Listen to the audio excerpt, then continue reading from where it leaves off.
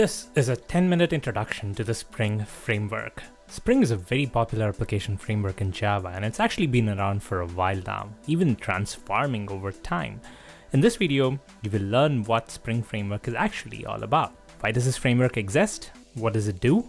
And more importantly, why and when should you actually use it? Let's find out.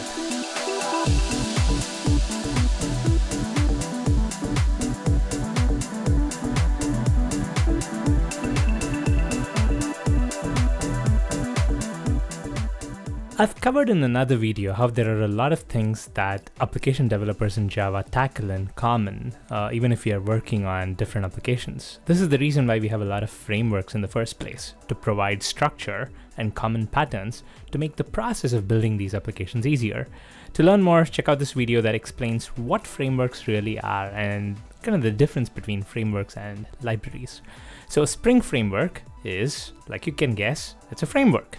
So it provides the patterns and the structure for your Java applications. And in the process, it handles these common things that most developers need to do when they build a Java application. So what are these common problems that the Spring Framework addresses?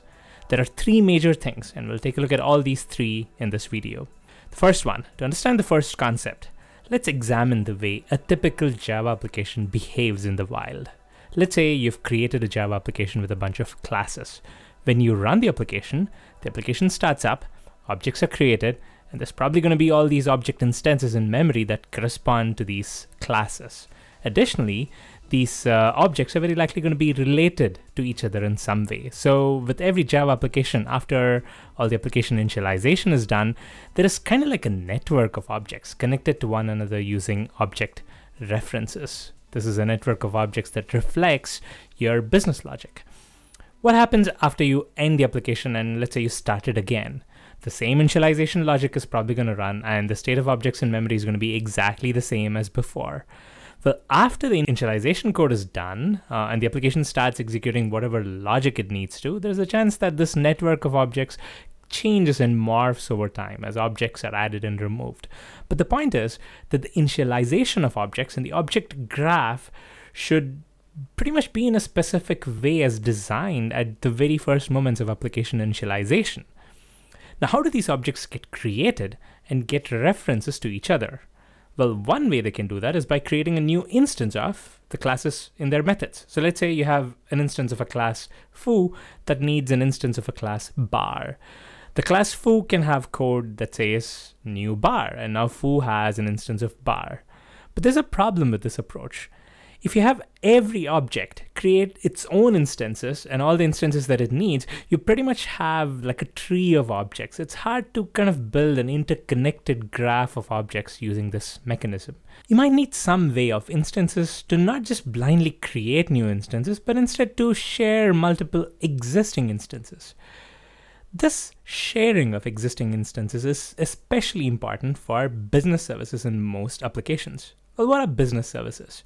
In a typical Java application, you have various different kinds of objects and classes. There are some objects that are data objects, for example, account information, right? So let's say a user has two accounts. The application creates two account objects to hold that data. They are data objects. There are other kinds of classes and objects that are not meant to hold data, but to perform some functionality. So let's say you have an account service class that has methods to fetch users' accounts. The account service class does not hold any data, but it has functionality. It has methods to fetch and process accounts. So now, how many instances of the account service class does an application need to create at runtime? Well, really, it just needs one. You don't need multiple instances of the account service class. It's not meant to contain any data and its member variables. So even if you were to create like 10 instances of this service class, they would all be identical instances. So for any such business service class that has just functionality to offer, you ideally want to create just one instance of these classes for the whole application. And every class that needs such services should ideally share the same instance. Now, how do you do this? Creating new instances is easy. You can instantiate objects anytime in your code. But now how do you share instances? This is the tricky part. there is a design pattern actually called the singleton pattern, and you can implement this to allow only single instances for every one of those classes. But then there's a whole lot of coding and management that you will have to do to manage the creation and life cycle of those instances. So this is the first problem where Spring Framework tries to help. When you add Spring Framework in your application, it acts as sort of like a container for your object instances. It wraps your application in a wrapper that's called the application context, the Spring application context, and Spring manages it.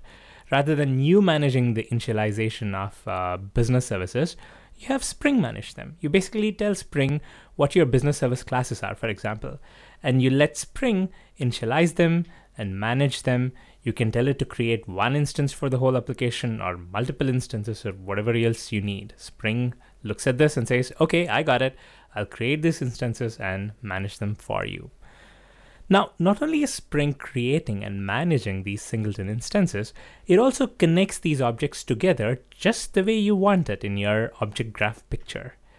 The way it works is every class declares the dependencies that it needs. Let's say a class says, okay, I want an instance of class A, an instance of class C, and one of class F. So Spring is going to look at this declaration and it'll inject those dependencies to make sure that every object has references to all the other instances they require. This happens through a process called dependency injection. I have a quick 10 minute video explainer about what dependency injection is actually all about, so check it out.